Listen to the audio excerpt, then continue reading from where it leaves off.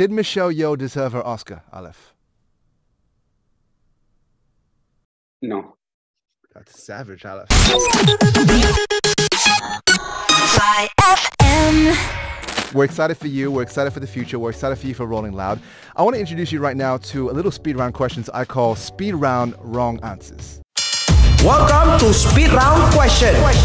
Tapi wrong answers only. Salah. Incorrect. Wrong answer only, huh? Here's how it works. I ask you a speed round of questions. You answer just with wrong answers because normally you'd be politely answering with the correct answers. No, I only want wrong answers from you, Alyph. Okay, let's try it. All right, speed round, wrong answer starts right now. Alyph, is Rolling Loud Thailand the biggest hip hop festival in Asia? No. Do you still love being a rapper, Alyph? No. Did Michelle Yeoh deserve her Oscar, Alyph? No. Savage, Alyph. And last but not least, Alyph, this was a very important one. Alyph, where are you from? Thailand. Hey! Hey!